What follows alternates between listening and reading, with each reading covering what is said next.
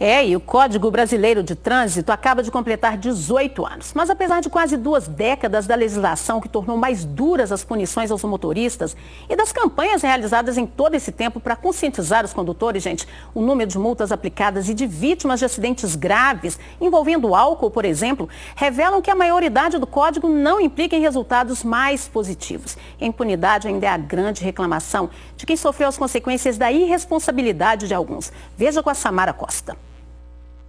A frota no Brasil já chega a quase 91 milhões de veículos, um crescimento de 275% de 1998 até 2015. Mais carros, mais mortes. Segundo o Denatran, o número de vítimas fatais decorrentes de acidentes de trânsito aumentou 40%. Quando a pessoa bebe e pega a direção, ela está assumindo o risco, ela tem que ficar presa. A gente sabe de normas, legislações, mas a gente muitas vezes não segue. Para esse advogado que ajudou a elaborar o Código de Trânsito Brasileiro 18 anos atrás, algumas normas necessitam ser reformuladas, a começar pela classificação de crime de trânsito.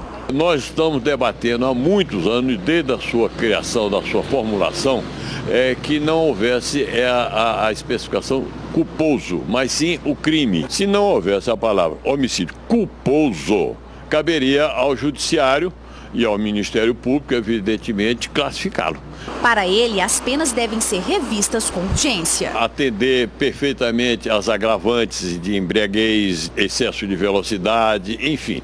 Essas agravantes teriam que ser mais aplicadas e as penas também serem bem mais elevadas. E destaca o endurecimento da lei seca como um avanço. Inibiu um pouco mais o motorista irresponsável. Em 2015, os brasileiros cometeram 13 milhões de infrações de trânsito. Na capital mineira, multas por excesso de velocidade lideraram o ranking. Foram mais de 428 mil. Transitar em pista exclusiva ficou na segunda posição e em terceiro lugar, avanço de sinal.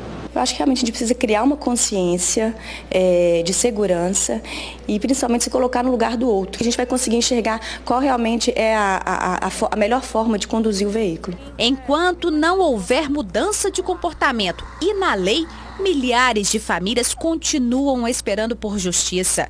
Em 2008, um empresário mineiro morreu depois que este motorista saiu de uma casa de shows, invadiu a contramão na Avenida Raja Gabalha e bateu no carro de Fernando Paganelli. Gustavo Bittencourt vai à júri popular, mas até hoje a data não foi marcada. Outro caso que chocou foi o da modelo Paola Antonini em dezembro de 2014.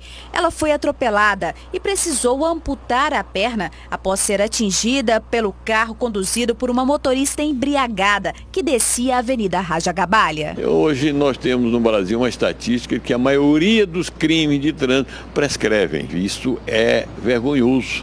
Isso é lamentável que no Brasil aconteça isso.